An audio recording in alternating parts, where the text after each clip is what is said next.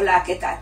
Hoy os traigo la segunda receta de carne de ternera de Sierra de Guadarrama pensada para los deportistas.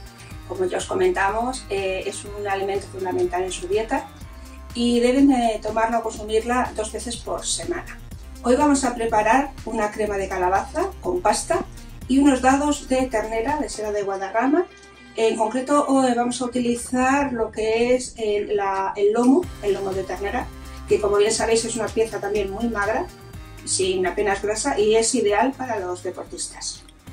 En estos momentos tan complicados que estamos viviendo, el tener nuestra carnicería de confianza cerca es fundamental, es muy importante. Carnicería de Madrid.es nos trae nuestro pedido, nuestra carne a casa en 24 horas. Los ingredientes que vamos a utilizar son calabaza, agua, sal, un cuarto de cebolla, un diente de ajo, una hojita de laurel, 100 gramos de pasta, un buen aceite de oliva virgen extra y por supuesto nuestra carne, que ya veis la pintaza que tiene.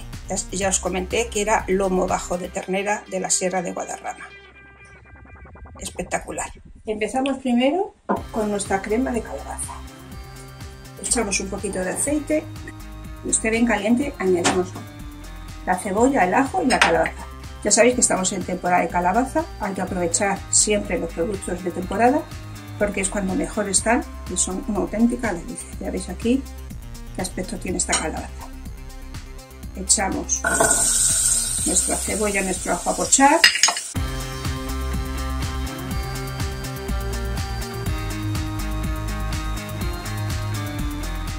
y lo dejamos a un fuego bajo que se vaya pochando lentamente.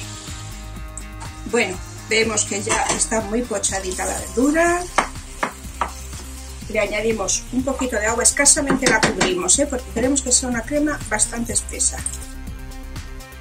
Así. Y la dejamos hervir hasta que esté totalmente tierna.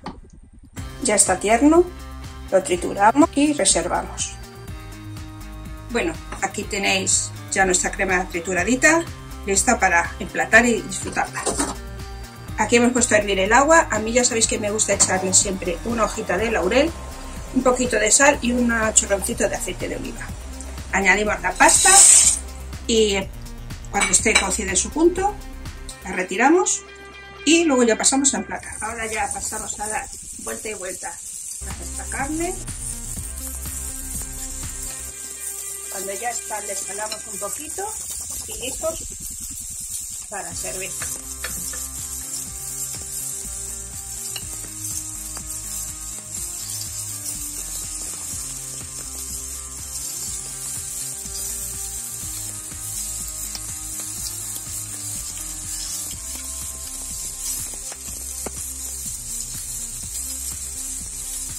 Ya tenemos aquí nuestro plato preparado